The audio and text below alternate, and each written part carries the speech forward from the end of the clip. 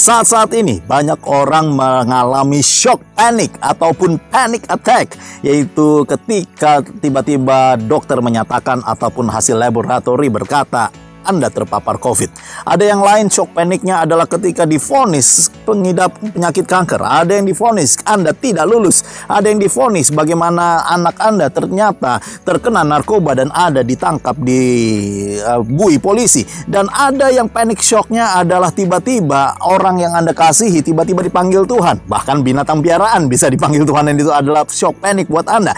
Dan karenanya mari kita berpegang teguh terhadap firman Tuhan setiap saat dan ketika panic attack itu datang, kita nggak goyah, kita nggak seperti kehilangan pegangan, kita tidak linglung. Bagaimana kita bisa tetap kuat di dalam firman Tuhan? Salah satunya adalah Yesaya 41 ayat yang 13. Saya ingin bacakan buat kita sekalian. Sebab aku ini Tuhan Allahmu, memegang tangan kananmu dan berkata kepadamu, janganlah takut, Akulah yang menolong engkau. Haleluya, puji Tuhan.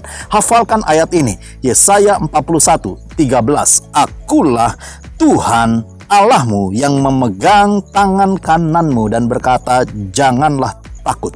Akulah yang menolong engkau. Manusia bisa mengecewakan, keadaan bisa membuat kita shock dan berbalik 180 derajat ketika tiba-tiba bisnis investasi yang kita harapkan naik semuanya tiba-tiba drop down dan kita kehilangan pegangan dan di situlah firman Tuhan sangat-sangat berlaku bagi kita sekalian. Jangan takut, Tuhan masih tetap penggali. Jangan takut, Tuhan adalah Tuhan atas segala sakit penyakit.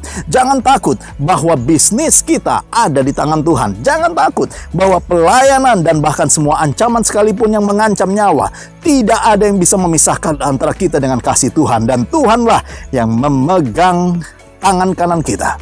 Dia akan menuntun kita menyanggupi kita untuk bahkan sampai ke ujung tahun 2021 ini dengan selamat, dengan sukses, dan dengan penuh belas kasihan dan kasih mesranya. Jangan pernah lepaskan tangan Tuhan. Tuhan tidak akan melepaskan tangan kanan Anda dan berjalanlah di tengah-tengah shock panik. Jangan khawatir. Tetap tenang, ambil nafas dalam-dalam, tenangkan diri, tenangkan pikiran, jangan mengambil keputusan yang gegabah. Tuhan akan menolongmu.